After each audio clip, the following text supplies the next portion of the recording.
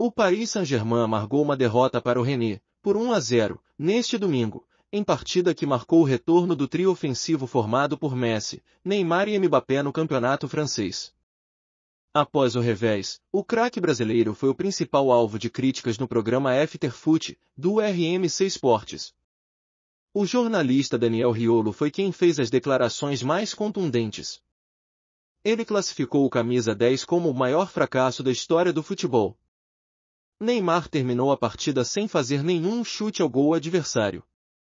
Ele zombou de todos os torcedores do PSG fazendo uma boa meia temporada porque tinha uma Copa do Mundo para se preparar.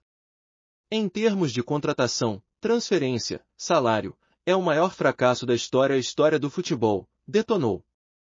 Neymar também não escapou das críticas do jornal L'Equipe, principal diário esportivo da França.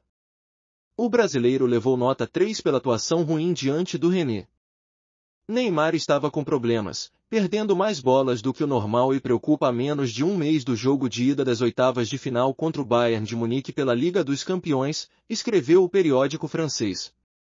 Apesar da derrota, o PSG segue na liderança isolada no campeonato, com 47 pontos, 3 a mais do que o Lens, em segundo.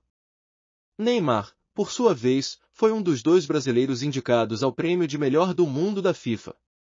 O outro representante do país na disputa é Vini Júnior, do Real Madrid.